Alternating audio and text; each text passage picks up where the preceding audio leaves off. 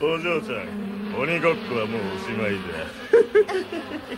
おたちから逃げれると思ったのかい。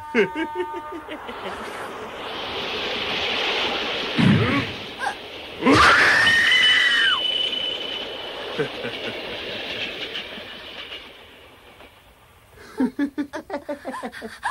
ややめて。